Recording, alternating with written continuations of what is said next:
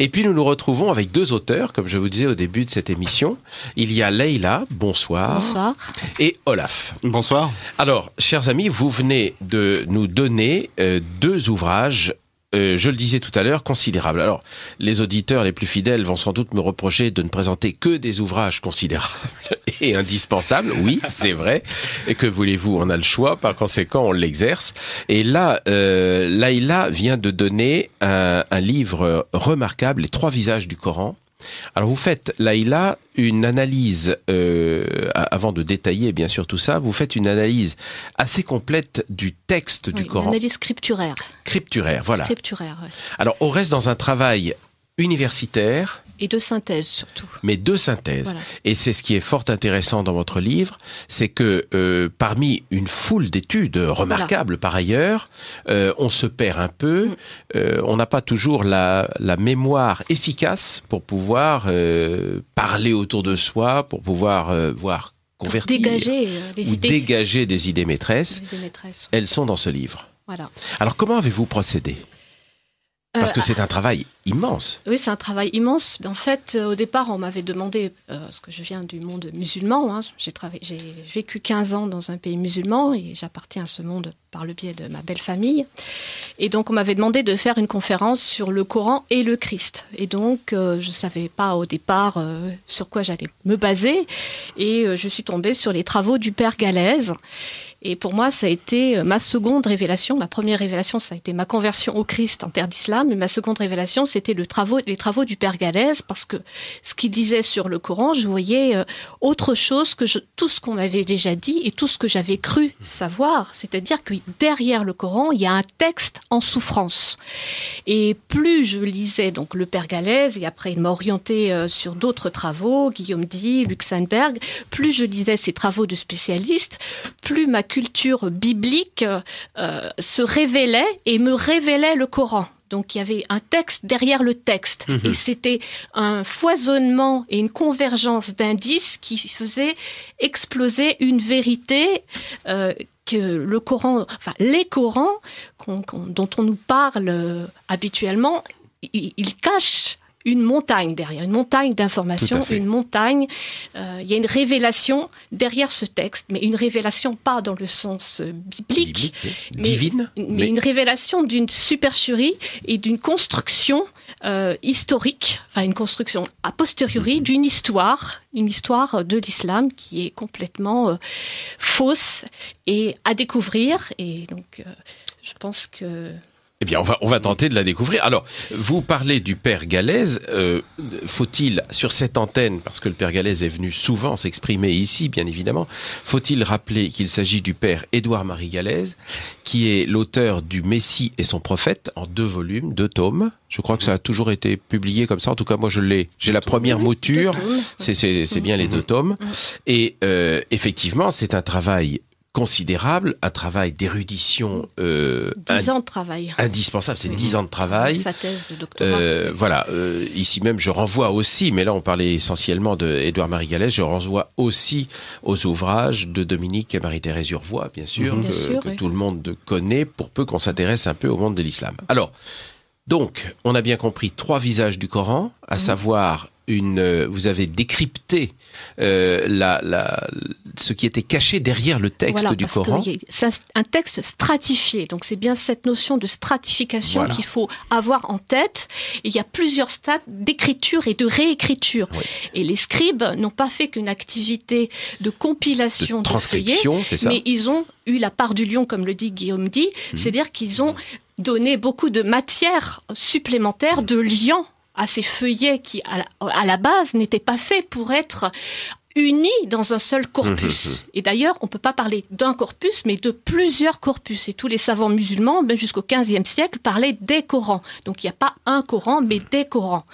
Donc derrière ce Coran officiel, on peut voir en lui-même plusieurs strates, en ce sens que le, le- le- le- la strate primitive ne comporte que des consonnes. Donc c'est un texte qui n'a pas de diacritisme, et donc c'est un texte consonnatique. Il n'a pas été voyélisé. voilà, t'es pas voyélisé. Et même, même les consonnes, il n'y a pas les, les signes orthoépiques qui permettent de les distinguer les consonnes. Donc en fait, c'est un texte que vous le donnez à n'importe quel arabophone, donc à ma belle famille, ils sont même des professeurs universitaires sont absolument incapables de décrypter. Donc il faut après attendre plusieurs euh, travaux, enfin on dit euh, d'après la littérature musulmane, Othman et d'autres Abdel Malik, il faut attendre la voyélisation pour que ça devienne un texte déjà un peu plus lisible. Qui survient autour du Xe siècle, je crois. Un peu, enfin. On verra avec Olaf tout à l'heure. 8e siècle. Donc une deuxième strate, un deuxième visage, donc déjà un texte qui, qui est plus lisible. Et je parle d'un troisième visage, d'une troisième strate. Donc là, c'est l'interprétation, la glose interprétative des califes, enfin des scribes mhm. qui travaillent pour les califes abbassides et qui vont donner euh, vraiment la mouture islamique. Donc la mouture islamique, en introduisant euh, le personnage principal, le héros post-mortem, qui n'est pas dans la strate primitive ou qui n'apparaît que quatre ou cinq fois d'après les spécialistes. Exactement. Donc tous les mots-clés islamiques sont des ajouts a posteriori, donc sont sur la, la deuxième ou la troisième strate. Donc en fait, il est important d'avoir une lecture stratifiée, de faire ce mhm. travail d'archéologue. Et donc il y a énormément de chercheurs, donc je, lis tout ce que les chercheurs trouvent et sortent sur cette stratification, parce qu'il y a même des chercheurs euh, allemands qui disent que la strate la plus profonde est une strate chrétienne, donc c'est une strate d'hymne chrétienne, donc, donc donc, bon, alors, est-ce que c'est vrai Est-ce que c'est pas vrai? Mais en tout cas, c'est des hypothèses. Euh, judéo-nazaréennes. Voilà. Enfin, je veux pas dévoiler votre sujet que vous allez traiter dans un instant. Donc, on trouve après, qu'on, même n'étant pas spécialiste, mais connaissant bien la littérature biblique et parabiblique, ça saute aux yeux qu'il y a tout un tas de corpus empruntés euh, chez euh, à la fois de la littérature, on va dire, judéo-chrétienne. Judéo-chrétienne, mais du 3e, 4e, 5e siècle après Jésus-Christ. Et, parfois plus qu'emprunté, parce qu'il y a des, presque, enfin, aujourd'hui, on dirait du copier-coller, ou, oui, presque. Oui, bah, les, les philologues ont remarqué, par exemple, que le personnage de Alexandre le Grand, c'est mhm. l'emprunt le, plus visible. C'est un, enfin, c'est un emprunt total d'une légende d'Alexandre, un ouvrage commandité en 629 par Héraclius. Et donc, c'est, d'après le, philologue Guillaume X, c'est l'élément, la sourate qui va nous permettre de dire que la datation euh, actuelle des savants islamiques est complètement fausse. Parce que si euh, il y a des sourates qui sont écrites après 629, le Mohamed étant mort en 632, donc il remet en question toute la chronologie qui est actuellement admise par les savants musulmans et admise aussi par la plupart des chercheurs euh, coranologues qui se sont basés euh, un peu béatement, un peu religieusement, ils, sont, ils se sont calqués sur le discours islamique. Mhm. Donc en fait, les chercheurs remettent en question complètement cette chronologie d'écriture et disent que c'était bien des, des textes différents qui ont été assemblés, mais a posteriori, dans un but différent de, de ce... Du but initial. Du but initial. Exactement. Voilà, c'est essentiellement ça le message quand on décrypte le corpus coranique à la, à la lecture des, de la littérature biblique et parabiblique. Surtout parabiblique, c'est-à-dire les apocryphes, les traditions orales, les midrash, donc mhm. énormément de, de, sourates ne peuvent être comprises que à la lumière. Judéo-chrétien, voilà, c'est clair. Donc c'est à la, à la lumière du judéo-christianisme, et donc c'est là qu'il faut vraiment ancrer le Coran dans une lecture historique. Et donc c'est là qu'il faut faire aussi un travail d'historien, pas seulement de philologue et de coranologue et d'histoire des idées, mais aussi d'historien. Donc en fait, c'est vraiment un travail où il faut faudrait faire travailler un département entier de spécialistes. Alors le département est presque rassemblé dans ce studio puisque puisque l'aspect euh, historique chronologique qui est si important, on va voir parce qu'il y a les strates euh, horizontales si l'on peut dire, mais il y a scripturaire, mais il y a cette cette colonne euh, chronologique indispensable pour la compréhension, pour comprendre. Et, et d'ailleurs, quand on lit le Coran d'une façon discursive, effectivement, on ne comprend pas en fait, tout simplement parce que on est déconnecté de déconnecté total de, de, de, de l'histoire, puisque euh, les sourates n'ont pas été classées comme ça, ça vous le redirez tout à l'heure, certainement. Alors, le, le deuxième spécialiste qui est dans ce studio, c'est Olaf. Bonsoir, donc. Bonsoir. Et alors, là, vous nous donnez un, un petit ouvrage. Alors, est-il édité, cet ouvrage, euh, dans le commerce? Je l'ai édité moi-même. Ah, voilà. Je l'ai édité moi-même. Euh, pour une raison très simple, c'est que je cherchais à lui donner la plus grande diffusion possible et que pour ça, le PDF, le fichier PDF est disponible gratuitement. C'est ça. Depuis mon, le petit site que j'ai créé à cet effet. Voilà. Alors, le grand secret de l'islam.com. Voilà. Alors j'ai commencé par le lire en, PDF, naturellement, avec les cartes en couleur, c'est très agréable d'ailleurs, les représentations. Mais vous l'avez quand même sorti sous forme de, de, de, de recueil, en quelque voilà. sorte. Il y a quand même beaucoup de lecteurs ah. qui préfèrent l'avoir en livre ah. qu'en PDF. Mais alors, tout ça, ça procède de la démarche initiale que j'ai eue euh, lorsque je suis tombé de mon siège en lisant les ouvrages du père Galaise. Alors là encore, euh, c'est vraiment la source. C'est euh, une source très importante, très importante. Euh, mais déjà, il faut il faut dire que le père Galès fait lui-même la synthèse de, de peut-être même de siècles de recherche en, sur l'islam avant lui, mhm. qui s'appuie sur des, des, on va dire c'est un géant sur l'épaule sur les épaules de, de géants. Donc, il s'appuie sur des travaux antérieurs très importants, notamment avec le père Moussali, Bien sûr. il a travaillé longtemps. Le père Moussali, euh, qui, qui, est venu très souvent. Enfin, je sais pas, on a fait une dizaine d'émissions, au moins pour ma part, avec le père Moussali. Donc c'est, c'est euh, là encore. Alors l'avantage du père Moussali, euh, si je puis dire, c'est peut-être anecdotique, mais pas tant que ça, surtout pour des non-arabisants comme je le mhm. suis moi, c'est que le père Moussali, lui, il l'était. Il était même de culture arabe et musulmane. Mhm. toute sa famille l'était. Et, le père Moussali était un converti.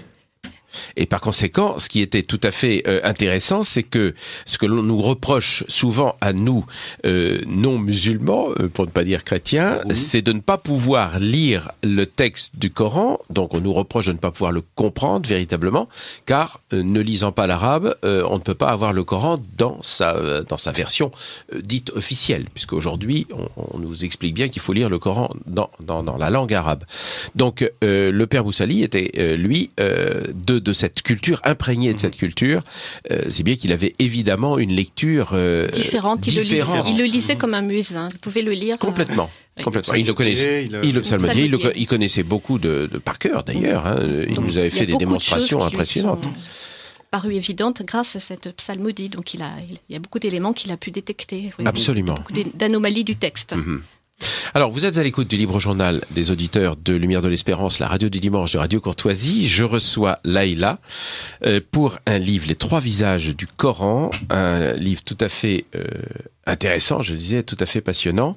Et pour Le grand secret de l'islam, c'est Olaf. Et là, on peut découvrir ce livre, donc déjà en PDF, sur legrandsecretdel'islam.com .com. .com. C'est ouvert donc et gratuit. C'est ouvert, c'est gratuit, c'est librement disponible. C'est le but de cet ouvrage.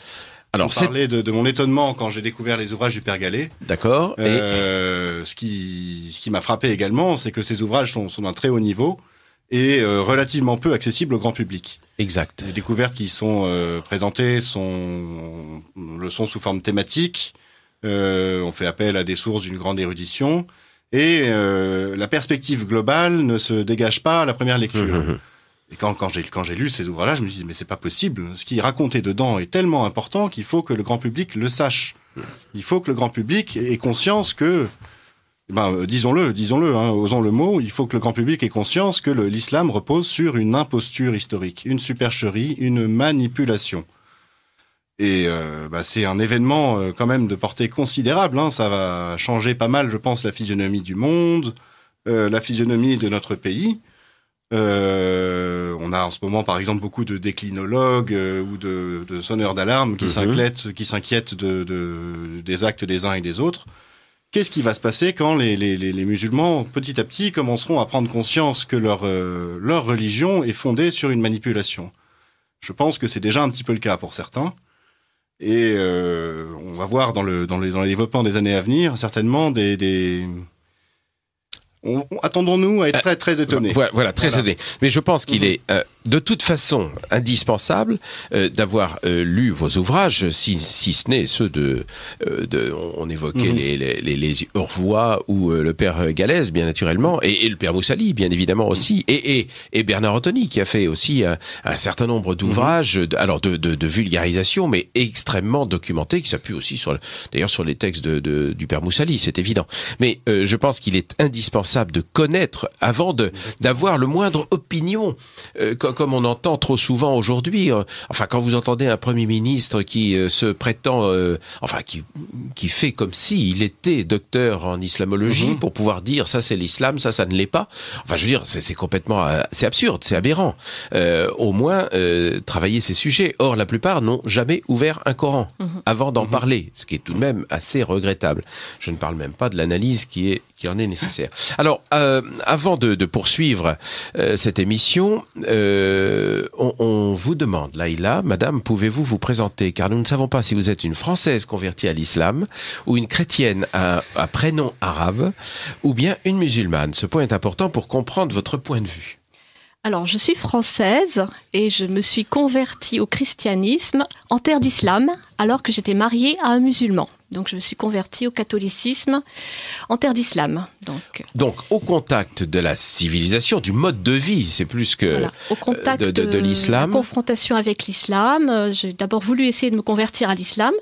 J'ai lu énormément de littérature islamique et puis c'est trouvé que un évangéliste m'a donné un, évangile et j'ai pu faire ma propre recherche et Jésus m'a trouvé et donc je suis devenue catholique en terre d'islam. Et donc je me sens une mission particulière auprès du peuple musulman parce que je trouve que c'est un peuple qui cherche souvent Dieu, mais pour chercher Dieu, il faut avoir une notion de la vérité. Et de la vérité, ça passe aussi par la connaissance de l'histoire réelle. Et donc, euh, l'islam, la, la plus grande importance dans cet islam, c'est qu'il y a une falsification de l'histoire. Donc, euh, même si je ne suis pas historienne, euh, c'est quelque chose qui se, qui se démontre très facilement, le- l'histoire complètement falsifiée. Alors, comment euh, on, on va au, fond, au, au bout du sujet euh, dès, dès la- dès- dès le début de l'émission, si je puis Mhm. dire. Comment persuader un musulman honnête, sincère, euh, comment persuader un musulman que, en fait, toute son histoire fal- toute l'histoire à laquelle il croit, c'est quand même terrible, parce que il croit de, de foi en quelque sorte, mais il croit aussi par la prégnance de la société musulmane. Il croit par rapport euh, à ses frères musulmans, par rapport à sa famille, par rapport. On sait tout le poids. euh, nous ne pouvons pas aborder euh, la, la moindre connaissance de l'islam si on ne se met pas un petit peu dans la perspective du musulman à l'intérieur de sa société. Or, toutes les décisions qui sont prises aujourd'hui vis-à-vis de l'islam, on le constate en tout cas chez nous et en Europe en général, ce sont des décisions de personnes qui sont, même s'ils ne se l'avouent pas, de culture chrétienne, juridiquement de culture chrétienne, c'est-à-dire qu'ils ont ce que nous disait Jean tout à l'heure, c'est-à-dire des, des siècles et des siècles de d'imprégnation chré- euh, chrétienne, et euh, ils jugent de l'islam en fonction de cette imprégnation. Tout à fait. Or, donc, ils ne peuvent pas en avoir une notion exacte. Alors, comment Euh, ils, ils le connaissent peut-être très très bien l'islam, figurez-vous. Euh, parce qu'en fait, on, on se trompe parfois souvent sur l'islam. On pense que l'islam, c'est le Coran. Et effectivement, euh, quand on, on regarde l'histoire islamique Mm. officielle, le Coran est le pivot de l'islam. C'est la révélation de la parole d'Allah. C'est ce qui est dit, en tout cas. C'est ce qui est dit. Mais quand on étudie un petit peu l'histoire, qu'on la reconstruit comme, euh, comme j'ai pu le faire avec Oui. le Père Gallet dans le, le Grand Secret de l'Islam, on se rend compte que le Coran n'est qu'un élément contributif de l'islam et qu'il sert à justifier quelque chose qui est bien plus important que lui. Alors ça, c'est votre thèse, naturellement. Ah, c'est plus. Qui- euh, on, c'est- on- on le, voit- on le voit par exemple à l'action chez, les, chez ces jeunes Européens qui vont faire le djihad Mhm. en- au Oh, Moyen-Orient. oui, en Syrie, oui. Ils n'ont pas lu le Coran. Ils Non, pas lu le Coran. On l'a vu également dans l'histoire. Ça a été montré par des, par des, par des historiens. Les, les, les musulmans, alors on voit pas les guillemets là quand je parle, mais les, les pseudo-musulmans du, du début du 8e siècle qui sont allés conquérir la, la péninsule ibérique n'avaient pas de Coran. Ils n'avaient pas de Coran. Quelle était leur foi? En quoi est-ce qu'ils croyaient? Eh bien, ils croyaient, ils croyaient constituer la meilleure des communautés C'est ça. il se croyait choisi par Dieu pour établir son royaume sur terre. C'est ça en fait l'islam. C'est c'est le projet par nature impossible d'arriver à éradiquer le mal du monde. Donc c'est un projet fou. C'est un projet fou. Il faut le faut le, le comprendre pour que ce projet puisse, euh, on va dire, euh, s'instiller dans les dans les dans les consciences. Il faut que se, se bâtisse une forme de surréalité chez les chez les musulmans Mhm. c'est plus ou moins fort selon, on va dire, l'imprégnation.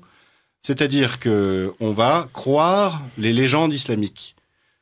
Elle est là, la surréalité. Ces légendes ne sont pas réelles. Elles disent, par exemple, que le musulman est au-dessus des autres. Mhm. On a déjeuné tout à l'heure chez une convertie issue de l'islam. Je lui ai posé la question. Alors, euh, quand, quand tu étais musulmane, qu'est-ce que tu pensais des chrétiens? C'était mes ennemis. Tu te pensais meilleur qu'eux? Oui, j'étais au-dessus d'eux. Voilà, voilà en fait ce que ce qu'apporte l'islam. Voilà, on va dire la, la Le l'immense l'immense euh, pouvoir d'attrait de l'islam. Il fait du musulman une personne supérieure appelée à accomplir le plan de Dieu. Et c'est pour ça que des jeunes Européens vont partir faire le, le, le djihad. Alors, ces jeunes dans, dans l'islam qui partent Mhm. parce qu'ils sont supérieurs aux autres pour, euh, et, et désignés par Dieu pour accomplir son plan, est-ce qu'il n'y a pas une autre religion, le peuple élu, qui a également cette prétention? Et c'est là qu'on voit une certaine parenté. Eh bien voilà, Voilà. C'est là, on y vient, on y Oui, vient. Le messianisme est bien Exactement, un fruit une- euh, du judaïsme. exactement. Le, le messianisme, exactement, ça je m'en suis rendu compte en travaillant avec le père Galès, qui est un, un grand, grand spécialiste du sujet. C'est un fruit du judaïsme matiné d'idées chrétiennes euh, complètement dévoyées. Et pour ça, en fait, il faut, il faut faire un peu d'histoire des idées et comprendre quelle est la grande nouveauté qu'a apporté Jésus et, on va dire, la prédication de ses apôtres dans le monde. Euh, Jésus, il arrive dans un monde qui, euh, qui fonctionne un peu de manière cyclique, où on considère que le bien et le mal se succèdent. on a foultitude de mythes euh, cycliques, avec le bien, le jour qui succède à la nuit, les saisons qui se succèdent. Le, le mal est compris dans le bien, le bien est compris dans le Mhm. mal. Et les hommes ont appris plus ou moins à vivre avec le mal en, en le prenant comme un donné. Et Jésus arrive en disant, mais non, le, le mal, on peut s'en délivrer. Il y a la possibilité d'être sauvé du mal, il y a un salut. Et c'est une nouveauté absolument radicale dans le monde païen de l'époque. Alors, c'est une nouveauté qui était déjà préparée par la religion juive, hein, d'une d'une certaine manière, avec ses, ses lois de pureté, ses règles de séparation de- du juif et du non-juif, qui préparaient déjà ce, cette vision d'un monde possiblement délivré du mal. Mais, mais avec une telle complexité dans ces règles de pureté que euh, elles étaient, in- elles devenaient inatteignables. Difficile, on, hein, on- euh, on revient, on revient dans ce, dans, dans, dans, dans un autre cycle en quelque sorte On revient dans un d'igna- autre cycle, ouais. d'impossibilité d'atteindre, voilà ce que je voulais dire, euh, cette Mhm. éradication du mal. Voilà. En tout cas, quand Jésus arrive, quand Jésus arrive, son message est radicalement nouveau et touche les consciences d'une façon complètement euh, inouïe. C'est-à-dire que les, les gens prennent conscience qu'ils peuvent être libérés du mal, à la fois sur un plan personnel. Alors, dans le message de Jésus et de ses apôtres, ça passe par la relation personnelle à Dieu, Mhm. et à la fois sur un plan collectif. Quand on parle de royaume de Dieu, on certains imaginent que ça pourrait être un monde délivré du mal. D'ailleurs, c'est ce que Jésus promet. Il promet, euh, avec son retour en gloire, un monde délivré du mal. Il promet pas de délivrer le, le- le monde du mal ici, tout de suite. oui. D'ailleurs, il dit lui-même que euh, il y a une parabole, je crois que c'est le bon grain et livré, Mhm. qui est assez connue, où il nous explique que s'il ne revient pas à l'homme de de faire le jeu, voilà, de, séparer le, le de. Dieu et de séparer le bien du mal. Mais quoi qu'il en soit, euh, à partir du moment où l'idée a été lancée, certains l'ont récupérée à leur propre profit. C'est-à-dire que cette idée que le mal, euh, on peut, on peut se séparer du mal, elle possède une puissance euh, très très forte et certains l'ont l'ont exploitée. Et on le voit après en travaillant l'histoire, ils l'ont exploitée en fonction de ce qu'ils étaient. Alors les premiers à l'avoir exploité, ce sont euh, certains juifs, certains juifs, on peut, dire judéo-chrétiens, mais euh, assez hérétiques, qui n'ont voulu voir dans cette idée de se délivrer du mal que des choses très très terrestres. Ils étaient travaillés par exemple par l'idée de, de la venue d'un messie politique, un messie euh, roi, un messie qui restaurerait le, le royaume d'Israël. C'est l'entrée du Christ dans Jérusalem. Voilà, c'est l'entrée du Christ De- de, de- Jérusalem, euh, Hosanna, béni soit celui qui vient au nom du Seigneur. Voilà, c'est euh, exactement ça.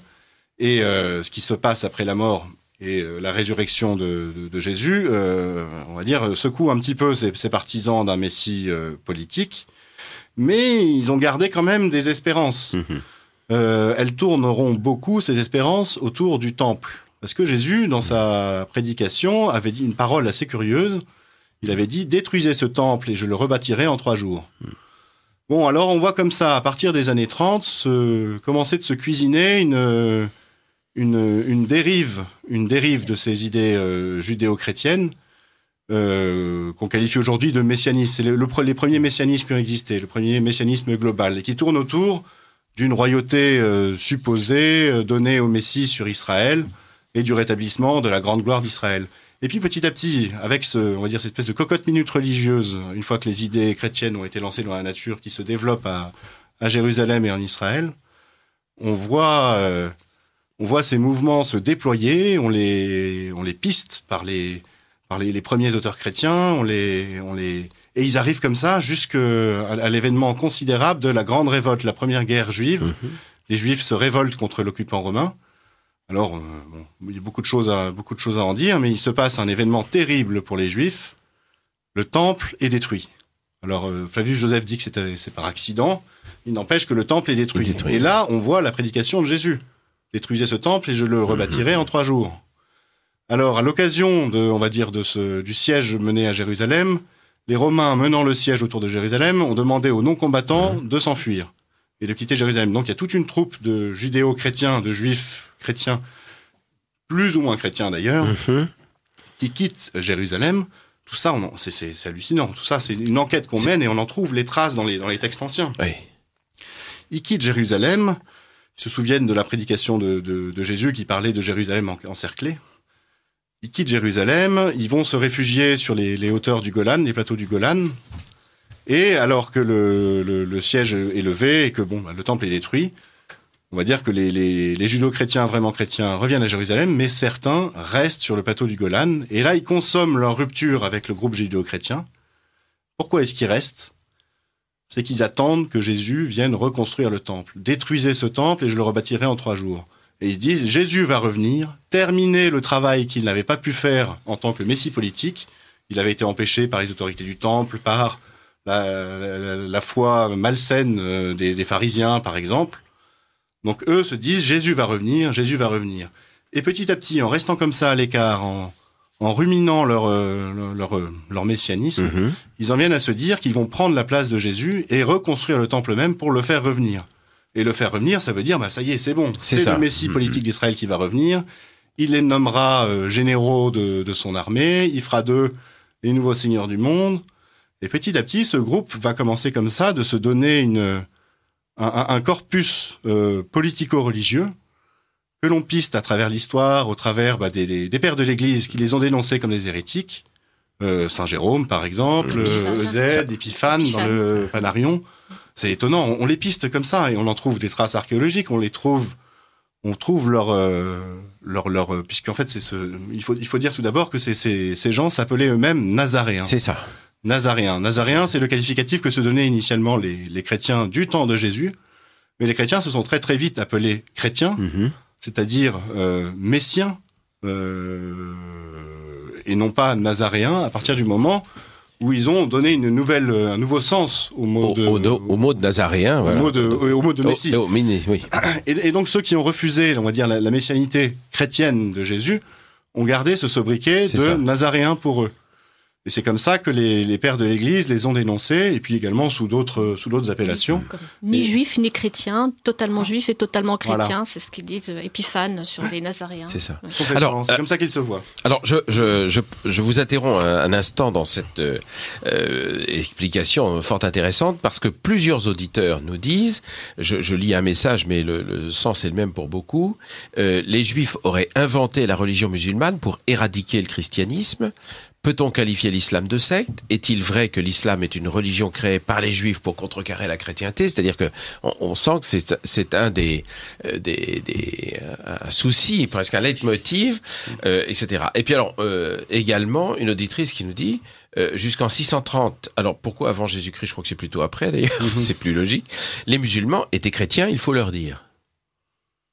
En Alors, tout cas, ils- ils étaient voilà. les Arabes, les Arabes. Les Arabes, les judéo, Oui, judéo, La péninsule arabique, elle était, on passe d'être complètement christianisée. Christianisée, bien évidemment. Ça, c'est la de qui le dit. Euh, bah- je crois qu'il faut redéfinir le, le terme de juif.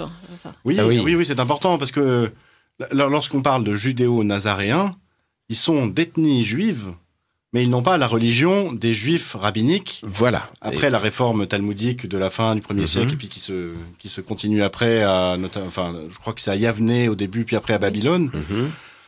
Alors aujourd'hui, aujourd'hui on a un regard rétrospectif sur l'histoire où on qualifie de juifs euh, tous les juifs de l'époque et on veut y mettre le, le- le même sens que ceux des juifs euh, rabbiniques d'aujourd'hui qu'on trouve euh, dans les synagogues euh, du Marais. Non, il faut, faut reconnaître une, une complexité euh, à l'histoire du peuple juif.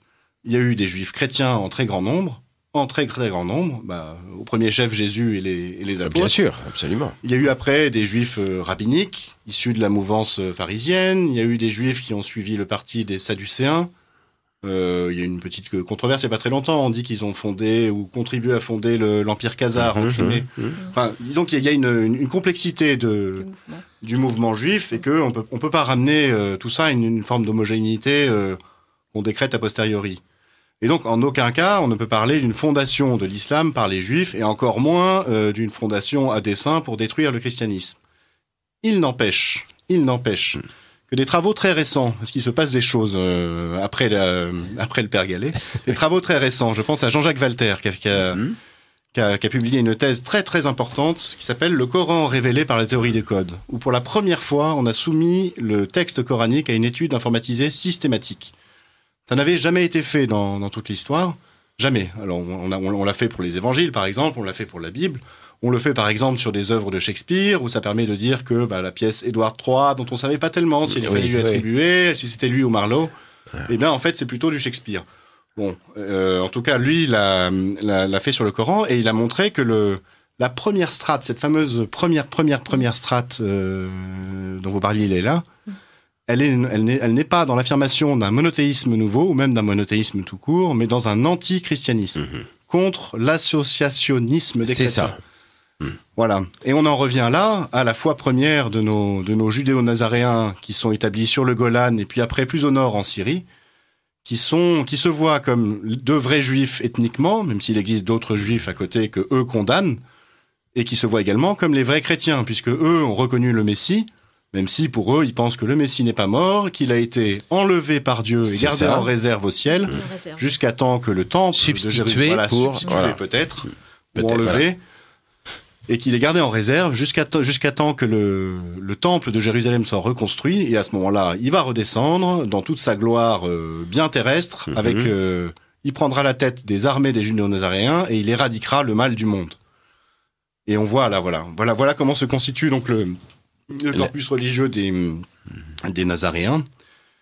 Tout ça on le sait parce qu'on les piste. On ça. voit en Syrie en Syrie et on n'est pas du tout dans le désert d'Arabie là. On est en Syrie on voit des noms de lieux Nassaran euh, alors, La il y a- il y a tout- toponymie de- la de la voilà, une la- toponymie, tout à fait. la toponymie, le, le, le, le- par exemple, euh, le mont d'Enosairi, le, oh là là, il y en a tellement, tellement, tellement, tellement, euh, le Wadi An-Nassara, Ansarié, Nassirié.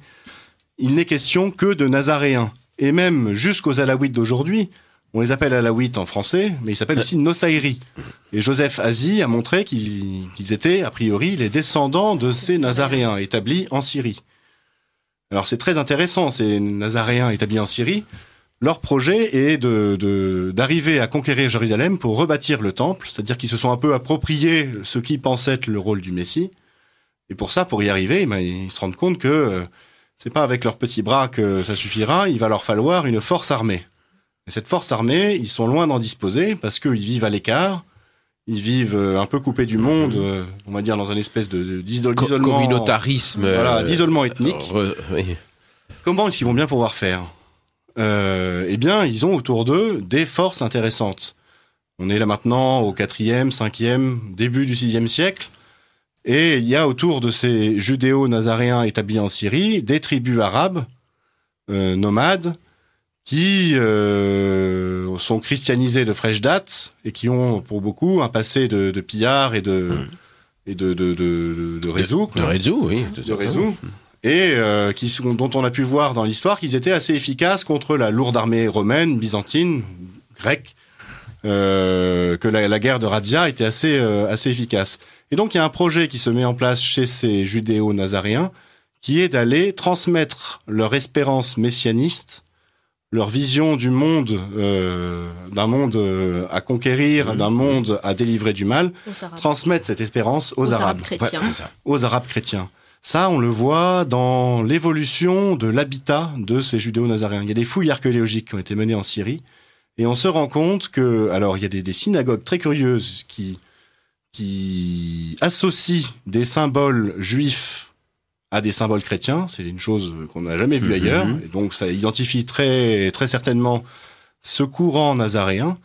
Et on se rend compte que euh, petit à petit, c'est des Arabes sont venus habiter dans les villages. Et donc il y a eu une cohabitation. Les Arabes chrétiens sont venus habiter dans ces villages. Et pourquoi cette cohabitation? Pour la, la prédication et euh, derrière le, le- l'envoi en, en mission de, C'est là que de les, feuillets du Coran, enfin les- les- du corpus, sont écrits. Voilà, c'est exactement ça. Mm. Qu'est-ce que c'est maintenant que le Coran? Alors le Coran, quand on est là à peu près vers l'an euh, vers l'an 600, Mahomet est en est, euh, on pense, vers l'an 570. 570. Sachant que cette date n'est absolument pas sûre. Hein. C'est une date qui a été euh, refaite, enfin A posteriori. déduite Oui, a posteriori par des islamologues Oui. occidentaux. Oui. occidentaux. D'ailleurs, toute Et la les- biographie de Mahomet, c'est a posteriori. hein. C'est ça, voilà. Ça, ça, on le dira tout à l'heure. On reviendra là-dessus parce que je pense que c'est Mhm. effectivement très important. Pardonnez. Ouais. Ah, je Continue. vous en prie.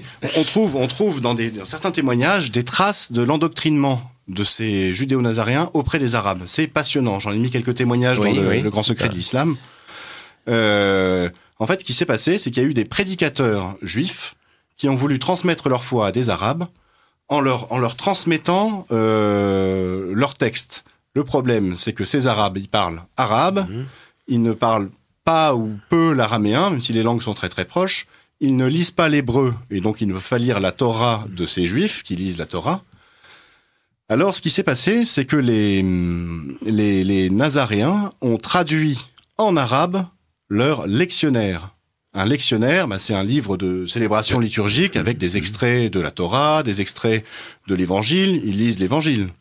Ils lisent l'Évangile de Matthieu. On l'a matinée, matinée, Voilà. enfin, Pas les évangiles, mais l'évangile. Voilà. On pense que c'est l'évangile de Matthieu adultéré par sa conservation dans ce Mhm. milieu-là. Et les pères de l'Église l'ont identifié comme étant l'évangile des Hébreux, un apocryphe en fait, Mhm. mais qui est assez proche quand même de l'évangile de Matthieu. Et c'est l'évangile, ils n'en ont qu'un. C'est ça.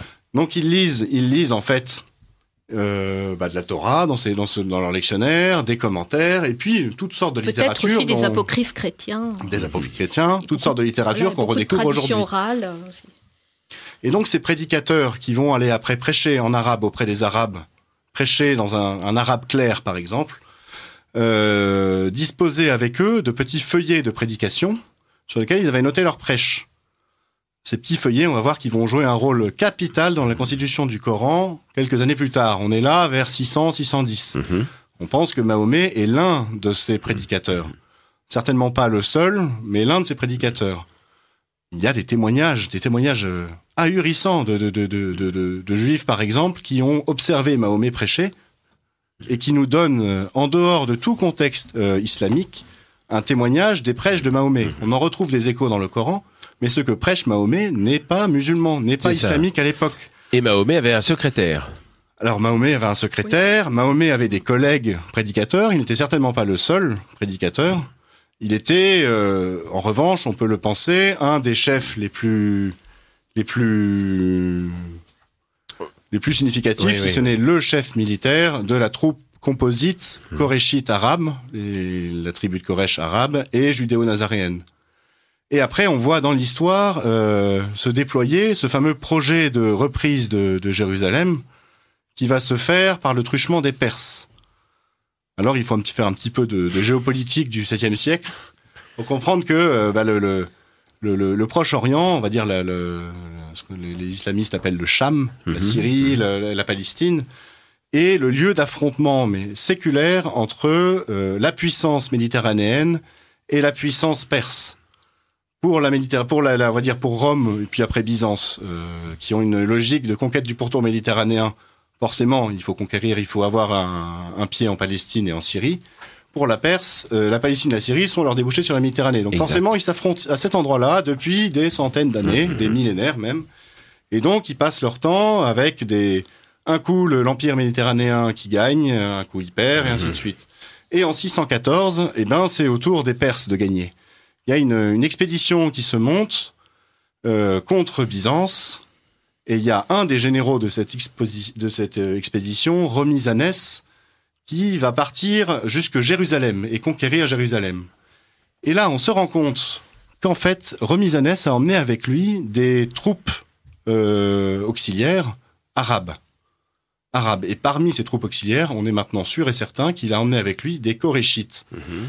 Des Koréchites. Il les a emmenés en passant, c'est-à-dire qu'il est passé par le, en passant par le nord à la Syrie.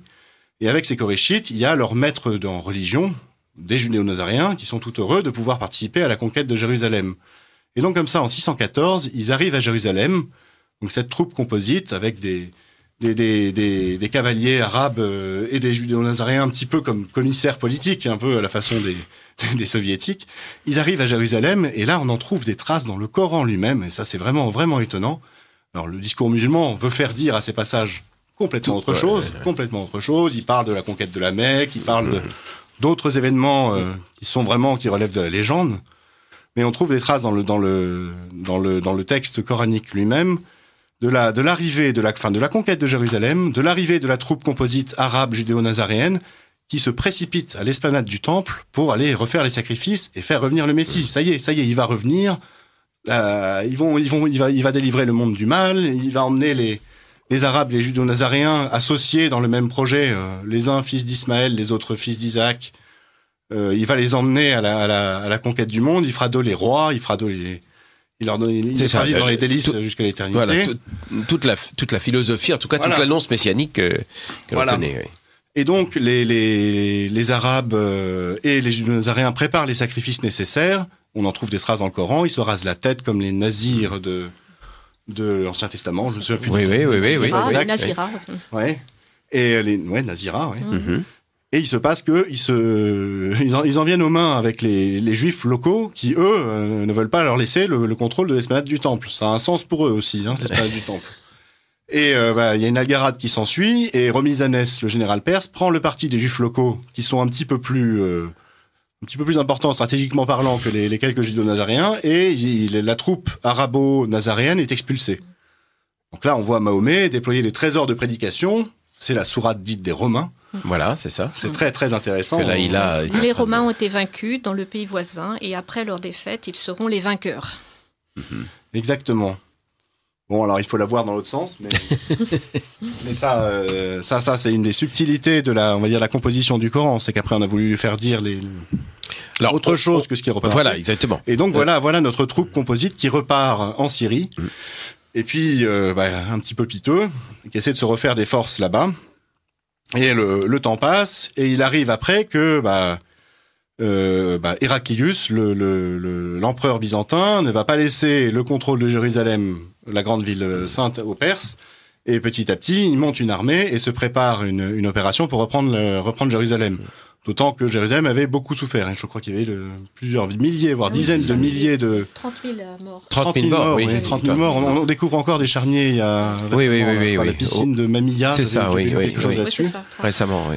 Voilà. Bon, toujours est-il que, que Héraclius prépare, prépare une expédition. Ça commence à se savoir et on pense que les, les judéo-nazaréens locaux, ceux qui sont restés en arrière lors de l'expédition de 614, font comprendre à leurs collègues partis en, en- à Jérusalem qu'ils sont plus vraiment de l'ordre de sainteté, ils les chassent et donc il faut partir. C'est la fuite. C'est la fuite devant euh, la possibilité que Héraclius rende aux judéo-nazaréens et aux arabes La- la, la- monnaie de leur pièce. quoi. et donc tout ce contingent fuit où ça Au plus loin, dans le désert euh, d'Arabie, à Médine, euh, qui s'appelle à l'époque Yatrib, Trib. hein. chez des judéo-nazaréens amis. Donc il s'agit de tribus juives. Ça, on pense vraiment que ces tribus Mhm. juives existaient. Elles sont mentionnées dans le discours islamique. En revanche, euh, on n'a aucune trace dans les archives très très complètes des, des juifs euh, rabbiniques de l'existence de tribus juives là-bas. Donc on peut penser que ce sont des judéo-nazaréens, Mhm. c'est-à-dire des, des, des gens d'ethnie voilà. Mhm. juive, mais qui n'ont qui n'ont plus la foi juive euh, canonique, Mhm. on va dire, des, des juifs rabbiniques. Oui. Et donc voilà que ce petit contingent va s'établir euh, à Yatrib, à Yatrib, et euh, à partir de là, euh, Planifier. essayer de planifier, voilà, un retour, un retour en force Sur pour Jérusalem. conquérir la Terre Sainte et Jérusalem. Et c'est petit, c'est ce qui va arriver. Ouais. C'est ce qui va arriver, quoi. Et d'ailleurs, la, la prière à ce moment-là est tournée vers Jérusalem. Mais la prière Et- est tournée et- vers Jérusalem. Tout à fait, oui. C'est-à-dire que, et là, là, on, on le verra en, en discutant un petit peu des différentes strates du Coran. Ce, ce sont des, des, des, à ce moment-là, ils sont pétris d'idées euh, juives, d'idées chrétiennes euh, plus ou moins dévoyées. Euh, Guillaume dit, un grand grand chercheur Mhm, là, mhm. euh, de l'université libre de euh, Bruxelles, Bruxelles. il qualifie le Coran d'apocryphe chrétien. Mhm. d'apocryphes chrétiens. Donc on, on, est vraiment dans cette même culture. C'est ça, exactement. Et d'ailleurs, il y a maintenant un consensus général des chercheurs qui, bon, à la suite du Père Gallet et de quelques autres qui l'avaient dit il y a quelques années, euh, parle maintenant de, on va dire, du milieu qui a donné naissance au, au, à l'islam comme étant une antiquité tardive, matinée d'idées euh, juives, chrétiennes et d'hérésies, euh, d'hérésies juives et chrétiennes. Donc on est vraiment dans cette continuité, en fait, dans ce, dans ce, dans ce bouillon de culture rempli de ces idées messianistes. Enfin bon. Mais si on revient un petit peu à notre histoire, on est à Yatrib, et donc là, ils se préparent, ils renforcent leur position. Mahomet est plus que jamais le chef, le chef militaire des chef de guerre, oui. Chef de guerre, le chef de guerre des de, de, de la troupe arabe avec les, les, les Mhm. maîtres en religion judéo-nazaréens qui les ont accompagnés, à qui ils ont fait allégeance. Et, et comme ça se préparent les expéditions. Il y en a une en 629. 629. ouais. 629 qui se il, il essaye à, de- à partir de Yatrib de revenir en Terre Sainte en traversant le Jourdain à la façon du peuple euh, du peuple juif, Juif, oui. pour donner tout un sens en fait à son épopée quoi. pour donner tout un Le sens à son de épopée l'exode, le sens de l'exode. Voilà, le sens de l'exode, euh, exactement, repasser aux désert mêmes endroits. Par le Mhm. Jourdain. ouais.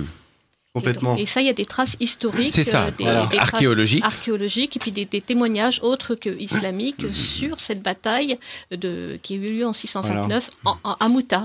Et donc, on trouve des traces dans le Coran, mais aussi dans des, des- des chroniques arméniennes, des chroniques euh, de l'époque. c'est d'ailleurs je crois le, le seul le seul événement de la vie de Mahomet qui soit à la fois historiographe historiographiquement C'est sûr ça. et bien daté Et, une défaite en 629 à Mouta. Or, les traces qu'on en trouve, qu'on y trouve dans le Coran, ne, ne, ne, ne, ne, ne- Voilà, ne présente mentionnent- pas- le discours islamique ne présente pas cela Ça, comme, C'est le moins qu'on puisse dire. Exactement, exactement. parce Alors, que à l'époque, Mahomet est censé, dans le discours islamique, tourner toutes ses intentions vers la Mecque. C'est vrai qu'on n'a pas Mhm. parlé de la Mecque, là. Vous remarquez, depuis, depuis. Oui, c'est le grand absent de notre grand absent discours. du hein. discours. tout à fait. Et du, et du Coran d'ailleurs. Oui. On, on va le voir dans les strates du Coran, on va le faire tout de suite. Alors, pour l'instant, je- j'ai encore une, question d'un auditeur. Donc, dans les recherches, qui, qui remercie pour cette émission d'ailleurs, au passage, dans les recherches mathématiques sur le Coran, j'ai trouvé le site eco.fr Islamologie. Si vous le connaissez, êtes-vous d'accord avec ce qui est dit? Je suis plus que d'accord. Je suis adhérent de l'association ECHO, Bon, très bien. Alors, nous avec lisons. le Père Gallet notamment. Voilà, nous avons les mêmes. Alors, ECHO, ça s'écrit E E-E-C-H-O.fr, euh, tiré oblique, Voilà. islamologie. Enjeu de l'étude du christianisme des origines. C'est- euh, voilà. C'est Et- par la connaissance du christianisme des origines, de la prédication des apôtres, qu'on comprend, par exemple, les phénomènes post-chrétiens, l'islam au premier titre. Par exemple. Premier Absolument. titre, ouais. Vous êtes à l'écoute du libre journal des auditeurs de Lumière de l'Espérance, la radio du dimanche de Radio Courtoisie. Je reçois donc Madame Laïla, et on en reste là, et Olaf pour deux ouvrages. Euh, vous avez entendu, chers auditeurs, l'importance de ces ouvrages. Le premier, euh, Laïla, donc, les trois visages du Coran, et le second, le grand secret de l'islam. C'est Olaf qui l'a écrit, et celui-ci, et vous pouvez le trouver directement sur Internet en format PDF. Donc, le grand secret de l'islam en un seul mot.com et vous aurez les, les trois, quatre chapitres, je ne sais plus comment ça se présente, enfin, etc. C'est un, un grand fichier PDF. Le fichier fait 88 pages en A4. Voilà, c'est ça. Et pour les lecteurs un peu exigeants, ils peuvent également le commander en livre. Il y a le lien euh, vers un, un petit livre qui fait une centaine de pages. en 120, format- 121 format pages. A5. Voilà, un petit, un petit bouquin format A5 qui est très, très bien fait. En PDF, les cartes sont en couleur et c'est important parce que les, les- la, la, la couleur accoute- euh, ajoute beaucoup à la compréhension naturellement il, y a, il y a- de. il y a quelques liens assez amusants. euh, il y a notamment des cartes anciennes que j'ai pu trouver. Exactement. la, la présence des Koréchites en Syrie. Il y a, enfin, il y a tout plein de choses. Ouais, ouais, tout plein de choses. Voilà, c'est bien de dit. surprises. Alors, je, on, on revient, si vous le voulez bien, mais n'hésitez pas à, à, à vous interrompre l'un l'autre de façon à enrichir encore le dialogue.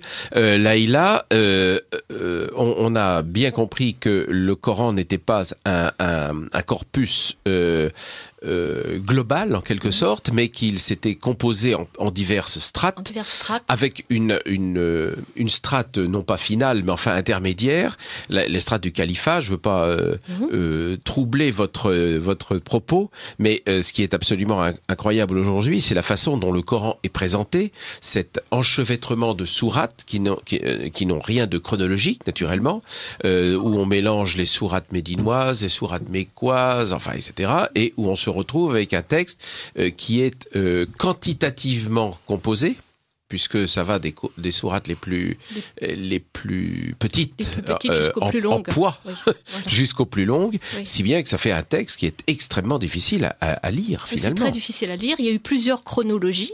Il y a la chronologie ben, qui est actuelle, mais la chronologie aussi de l'université d'Al-Azhar qui n'est pas la même. Et puis déjà, cette distinction entre mécoise et médinoise, elle est remise en question par les spécialistes. Exactement. Parce que justement, euh, Guillaume Di, les travaux de Guillaume Di montrent que on ne peut pas établir de chronologie euh, euh, entre Ah, mécoise sur ces deux périodes sur- sur ces deux chronologiques de la vie périodes, de parce qu'en fait, au niveau stylistique, il y, a- il y a des regroupements, enfin des sourates dites mécoises qui vont avoir un style plutôt médinois. Enfin, bref, il n'y a pas vraiment de, de chronologie Mhm. euh, qui, qui est établie par les scientifiques. Et donc, ce qui est surtout intéressant, bah, c'est de voir tous les emprunts aux littératures euh, euh, apocry- apocryphes et les littératures. euh, on va dire midrashiques, c'est-à-dire euh, toutes les petites histoires qui sont dans le Coran, comme l'araignée, l'histoire de Abraham et les idoles, des histoires sur Moïse qui sont inconnues de, de la Bible, qui sont inconnues de l'Ancien Testament, mais qui sont connues par contre de la littérature, euh, on va dire midrashique, c'est-à-dire entre le deuxième et le troisième siècle après Jésus-Christ, justement dans Cette ces fameuse antiquité tardive. ouais. C'est ça. antiquité tardive. Et donc, on trouve des, des, bon, des, des, des traces, des traces d'Ézéchiel, des traces de, de Élie, de, de plusieurs rabbis, de, de, de- du quatrième Esdras, d'Apocalypse de Saint Jean, d'Apocalypse de- d'Élie, enfin, beaucoup de littérature euh, variée. Euh, et donc, il y a aussi des, des emprunts d'évêques. Donc, en fait, il y a des homélies d'évêques. Un évêque euh, qui avait fait une homélie sur les sept, euh, les sept dormandes, donc des traditions orales aussi. Donc, euh, donc une, une littérature qui est extrêmement dense et variée. Et aussi des, des auteurs bah, chrétiens comme Jacob de Saruk ou les hymnes de- du paradis de Ephrem de Nizib. Donc on peut décrypter la littérature, enfin la bibliographie des auteurs du Coran. Alors Olaf, un commentaire, parce que je vois que vous étiez en train de repomper euh, dans, dans votre propre livre des...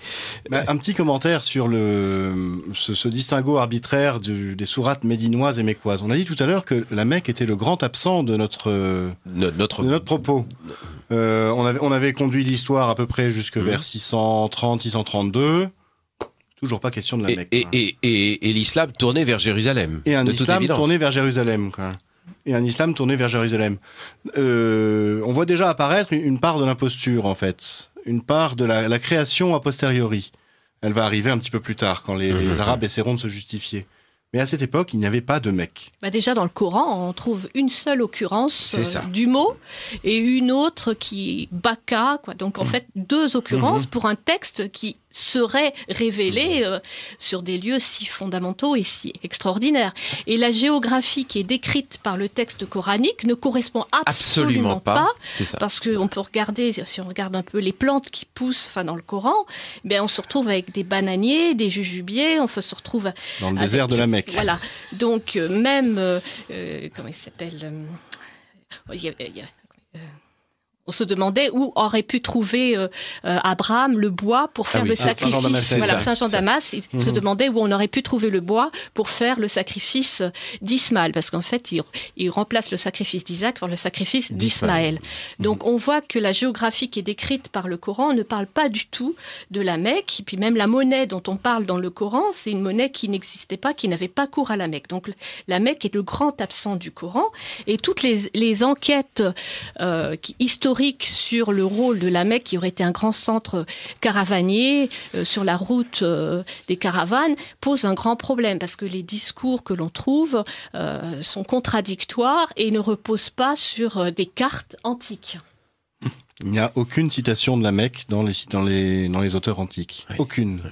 Les itinéraires caravaniers qui sont bien décrits ne passent jamais par la Mecque. Et, et vous montrez d'ailleurs une carte ancienne où, euh, effectivement, je ne sais plus si, euh, si c'est Je chez montre vous. pas mal de cartes Et- anciennes. C'est voilà. peut-être c'est peut-être en lien sur le PDF. Euh, Peut-être, mais il y en a une où effectivement euh, on, on voit décrit toutes les C'est pas avant le que j'ai 9e lu ça siècle. Le, où où Alors, on ouais. voit décrit euh, euh, véritablement la péninsule ara- arabique et la Mecque n'existe pas. pas, voilà, n'existe Elle, pas. elle- elle- elle est inconnue, totalement inconnue.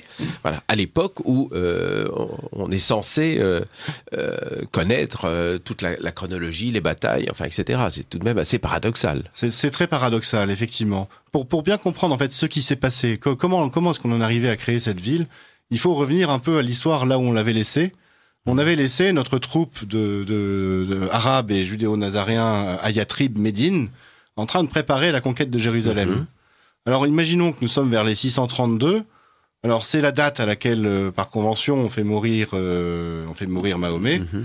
Il n'est pas certain qu'il soit mort effectivement là, parce qu'il y a des témoignages en fait de bataille en 634 notamment, qui disent que Mahomet commandait encore ses troupes. Alors peut-être que ça veut dire aussi que Mahomet n'est qu'un surnom donné au chef. Mm.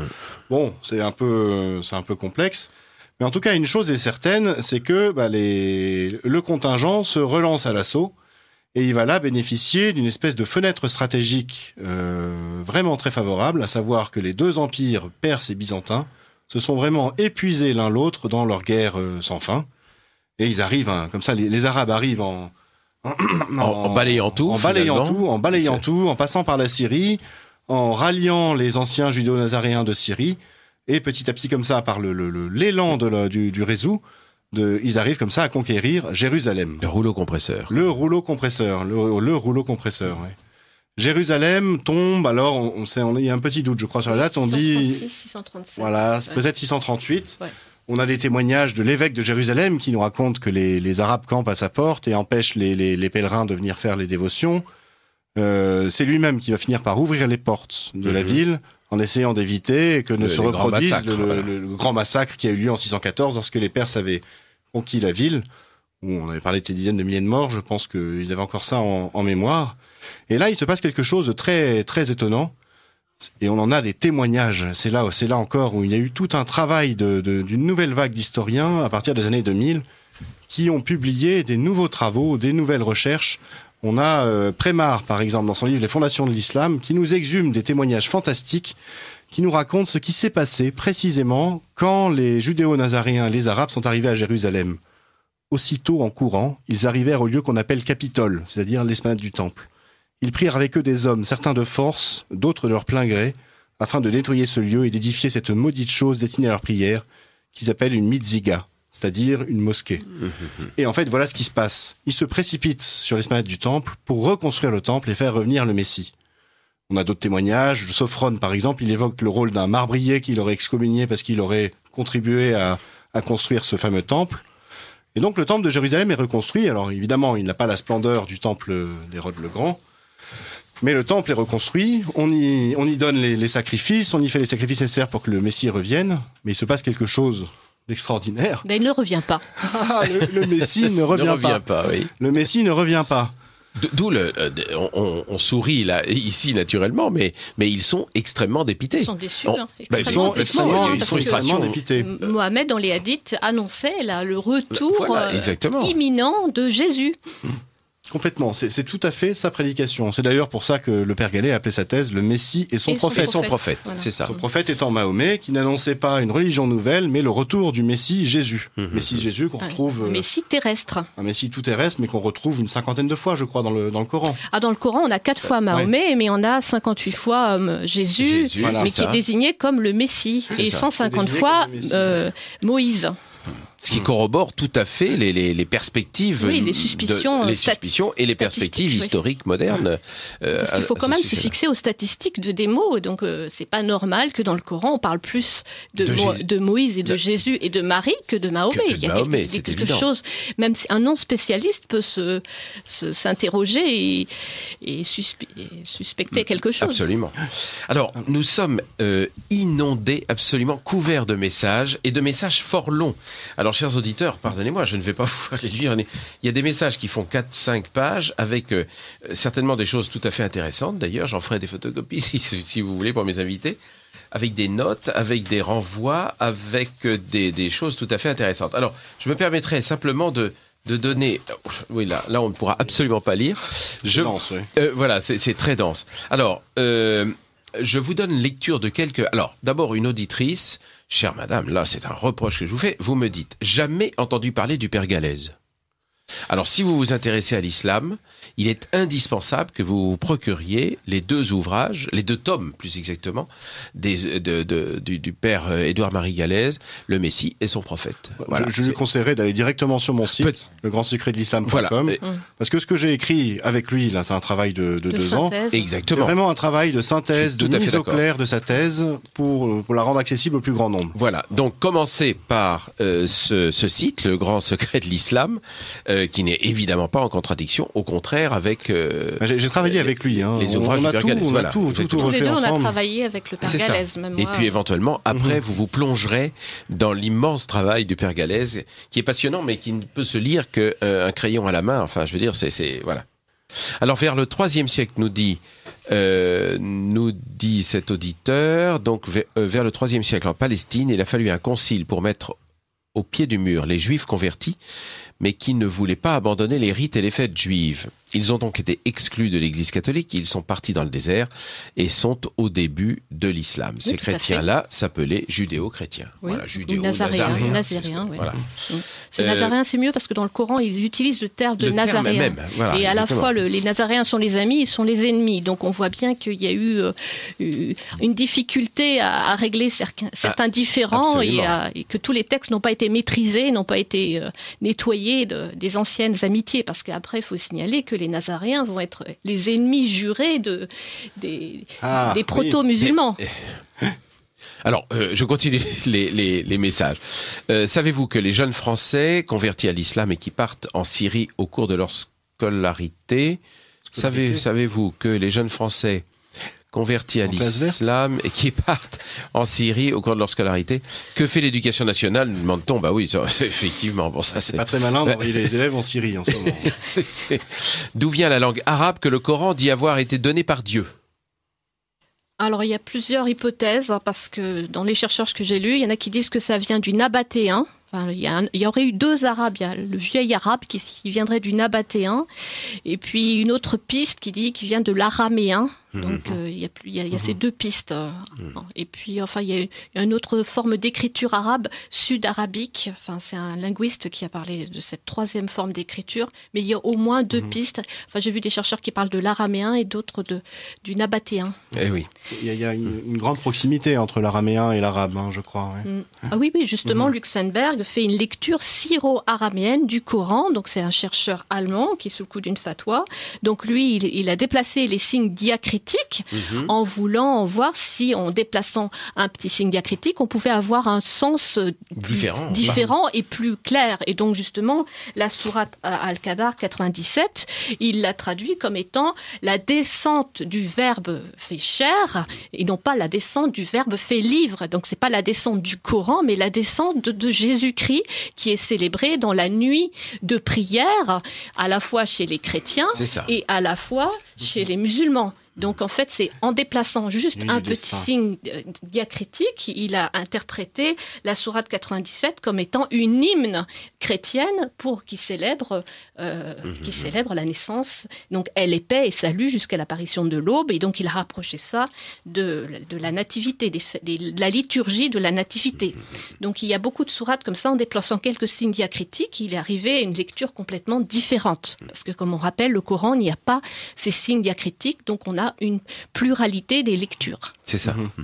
Et Là, il va falloir qu'on qu'on- qu'on explique un petit peu comment est apparu le Coran, en fait. Alors, allons-y, parce que le temps passe Le temps très passe. vite dans cette émission, comme On vous voyez bien, et on est, on est On était là en épuisé. 640. Voilà. En 640, Reprenons la le- chronologie. Hmm. Le Messie ne revenait pas. Et là, il se passe quelque chose, c'est un renversement d'alliance. Évidemment, les Arabes, emmenés par les judéo-nazaréens dans euh, une épopée de guerre, de conquête et de sacrifice, se rendent compte qu'ils ont été trompés, manipulés. Manipulés par les judéo-nazaréens qui n'ont pas de Messie pour eux. Et donc, derrière, ils vont se retourner contre eux, les massacrer, les bannir. On en trouve les traces dans les discours musulmans. C'est c'est la conduite de Mahomet envers les tribus juives de Médine. C'est ça. Et derrière ces, ces Arabes, à qui on avait promis la terre entière et en particulier un- une place de chef dans un royaume délivré du mal, se rendent compte que bah, ils n'ont peut-être plus le, le- le background religieux. Pièce dans Oui. le cochon. Excusez-moi, pièce dans le cochon, bien sûr. Ils n'ont, ils n'ont plus, ils n'ont plus, on va dire, la- la- le, le corpus religieux pour le pour justifier la chose, mais ils ont le contrôle militaire de bah, du, du, du Proche-Orient. Mhm. Ils ont le contrôle militaire du Proche-Orient. Et ce qui va se passer après ça, c'est un pénible travail de justification religieuse de cette domination politique. Et c'est comme ça, petit à petit, qu'on va en arriver à créer le Coran, à créer l'islam, pour que les califes, petit à petit, puissent justifier Voilà. la domination politique qu'ils ont héritée de, on va dire, de le, de, de le- l'épopée messianiste avec les judo-nazaréens. Donc, ce qui va se passer, c'est que, à partir du moment où les judo-nazaréens sont bannis et massacrés, on va euh, procéder à une destruction de tous leurs textes religieux, un effacement des mémoires, et on va euh, essayer de garder de leurs textes religieux ce qui pourrait aider à constituer un corpus religieux justifiant la domination Voilà, politique. Donc on va récupérer d'eux, on peut pas récupérer d'eux leur Torah en hébreu, celle-là on va la, on va la, on va la brûler. On va pas récupérer d'eux leur évangile.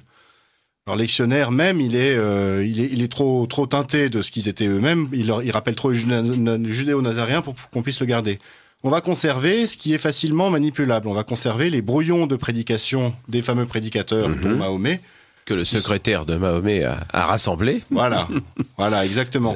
C'est peut-être pour ça que ces fameux brouillons auraient été écrits sur des tessons de bouteille ou des omoplates de chameau, parce qu'on n'allait pas gâcher du parchemin noble pour un brouillon. Bon, ça, on n'en sait, on n'en sait pas encore trop grand-chose. Donc, on rassemble ces brouillons, et puis, au gré de, des luttes terribles, terribles, terribles entre Arabes pour la, la, la, la domination politique, alors là, on a euh, 50 années entre 634 à peu près, et on va dire jusque l'arrivée d'Abd al-Malik en 687, 88 par là, non Oui, c'est ça. On a une, une guerre, une guerre sans nom entre entre Arabes qui ne s'appellent pas encore musulmans pour le Entre pouvoir. Calife et C'est anti-calife. c'est ça, entre Oui. calife, et Calife, anti-calife. et c'est dans cette ce maelstrom euh, où les ils s'entretuent les uns les autres Que va naître la Mecque. Et, et- que naît la Mecque, que naît Mahomet en tant que prophète, Mhm. que naît le, le Coran comme livre révélé par Dieu, que naissent des idées. En fait, les partisans du calife vont être contestés, par exemple, par un anti-calife qui va dire oui, mais moi, je suis anti-calife, justifié parce que j'ai le prophète Mahomet avec moi. Alors le calife va dire oui, non, mais moi, j'ai le prophète Mahomet, mais j'ai le Coran révélé par Dieu. Et c'est comme ça qu'il y a une espèce de dialectique qui va conduire le, le Très artificiel. très, mais- très artificiel, très artificiel, qui va conduire les, les, les, les Arabes à se construire petit à petit une religion. Et c'est Abd al-Malik qui va, le, donc le très grand calife Abd al-Malik. Qui va fixer les bases de cette religion qui n'est pas encore l'islam, qui n'a pas encore le visage actuel de l'islam, mais qui, on va dire, en, en épouse un petit peu les contours. Ça, on le verra avec la construction du dôme du rocher à la fin du 7e Voilà, siècle. c'est Dôme ça. du Rocher, on ne Voilà. parle pas du tout du Coran. Donc c'est ça On ne parle pas encore du On Coran. ne parle pas du Coran. Il faut voir même qu'en Mhm. 640, il y avait un colloque interreligieux entre un patriarche jacobite et un compagnon du prophète, et il ne parle pas du Coran. Donc en 640, le Coran n'existe pas encore. Et Bien donc, sûr. sur le dôme du rocher, il n'est pas de trace non plus de ce Coran. Donc en fait, c'est une construction a posteriori, bien, bien, bien postérieure à la, à la mort de Mahomet. Ce qu'on voit sur le dôme du rocher, c'est Mhm. la célébration d'une religion nouvelle, qui n'est pas encore l'islam, qui est une sorte de religion d'Abraham, héritée plus ou moins des judo-nazaréens. Mhm. Une religion qui coiffe la religion chrétienne, on va dire le, le- les chrétiens et le judaïsme, et qui, qui place les nouveaux seigneurs politiques, les arabes, au-dessus d'eux. C'est ça. C'est la, la, la justification euh, religieuse du messianisme politique qui avait été le leur, transmis par les, par les nazaréens. Et alors finalement, ce texte connu aujourd'hui du Coran va être assemblé petit à petit. Petit à petit. oui. et va être euh, figé en quelque Mhm. sorte, alors qu'il aurait pu continuer à évoluer d'ailleurs, mais Mhm. va être figé par des nécessités politiques d'affirmer pour les califes leur propre autorité. Mais il y a eu une compétition entre les codex. Bien Donc sûr. il y a eu beaucoup de codex, de compagnons du prophète, le codex du Bey, le codex d'Ali, le codex de Massoud, qui ont été brûlés. Donc il y a eu beaucoup d'autodafés, beaucoup de Mhm. compilations et d'autodafés. Donc on peut pas parler d'un Coran. Il y a eu plusieurs Corans. Même C'est les, chiites, ils disent que le Coran actuel, il lui manque euh, tous les personnages qui se réfèrent à Mahomet. Que, Mhm. que les sunnites ont enlevé le personnage de Mahomet pour justement euh, des raisons politiques. Voilà. Donc il y a pluralité des Corans et c'était un fait qui était communément admis par les savants de l'islam jusqu'au XVe siècle. Donc en un mot, euh, une construction euh, purement intellectuelle en fait d'une religion a, a posteriori pour justifier d'une action politique. Elle est, elle est parfois même plus qu'intellectuelle.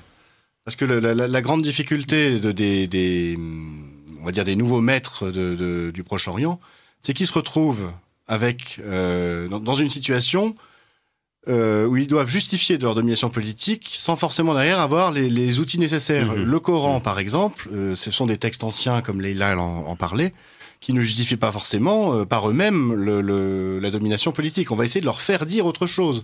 On va construire autour du Coran un discours, ça. un discours islamique qui dit autre chose que ce que le texte veut dire. Tout Et on va euh, déplacer et contraindre le, la géographie, les mémoires des Arabes pour faire rentrer euh, le réel dans le nouveau discours. On va à ce moment-là créer la ville de la Mecque. On va baptiser les collines de la Mecque du nom, par exemple, de lieux qui, qui étaient euh, courants en Syrie. Plutôt, va- plutôt vers Petra d'ailleurs. Euh, alors, il y, a- y a plusieurs thèses. selon plusieurs selon thèses, Père oui. Gallet, Pardon, c'est là, plutôt la là, je, Syrie. je euh, renvoie à un autre, alors là, un autre c'est- discours, oui, effectivement, ça, temps ça pourrait malheureusement. être mais- Petra, Oui. certains auteurs l'affirment. Et en fait, il va y avoir comme ça tout un transfert des mémoires euh, originelles des Arabes euh, géographiques, c'est-à-dire qu'on va on va prendre les souvenirs de la Syrie, on va les greffer Mhm. sur la Mecque. Il va y avoir des souvenirs euh, plus plus diffus, par exemple le, le, le- le souvenir des judo-nazaréens. Il va être transformé. On va faire des judo-nazaréens dans le Coran des chrétiens pour pouvoir condamner les chrétiens. Et il y a comme ça tout un ensemble de transferts historiques qui vont euh, justifier, ou du moins qui vont rentrer dans le discours islamique, qui vise à contraindre la réalité. Mhm. On est totalement là dans la construction de cette surréalité dont je vous parlais. Cette surréalité, c'est le, phénomène qu'on voit à l'œuvre dans tous les messianismes politiques, que ce soit euh, le communisme par exemple, le nazisme, où on construit des visions un peu folles de, de- de monde idéal. Eh ben, le surréalisme, le, ça. pardon, et la, sur- la surréalité, surréalité, la surréalité, Et ça, ça mène derrière, derrière à refouler profondément le Et ça réel. amène à la violence. Ça mène à des délires de La source persécution. Ça mène à la de la, surré- de, de la violence, c'est la surréalité. voilà, des délires euh, de persécution, etc. Des délires de Tout à fait, persécution, tout à fait. voilà. Donc on est aux sources de la violence, en fait. Le grand secret de l'islam, Olaf en est le- le- le- le- le- l'écrivain. Euh, grand secret de l'islam que vous pouvez, chers auditeurs, découvrir sous deux formes, ou euh, en vous branchant sur Internet et ou en allant chercher legrandsecretdel'islam.com. Et vous aurez toutes les, toutes les ouvertures en PDF sur ce texte, ou alors en le commandant, mais là aussi sur euh, Via le site internet. le, le grand secret de l'islam via le site internet. Vous pouvez, euh, vous pouvez donc euh, acheter ce volume de 121 pages en A5 euh, qui est euh, voilà, je reçois encore de- des, des messages. Je vais euh, vous en faire part, mais on n'aura plus le temps de les traiter. J'en suis désolé. Vient d'avancer Pour un tous peu ceux- renversant. oui. Euh, les trois visages du Coran, c'est Laïla. Et vous trouvez ce livre naturellement à la librairie Notre-Dame de France. Merci Laïla, merci Olaf. Merci beaucoup. Merci.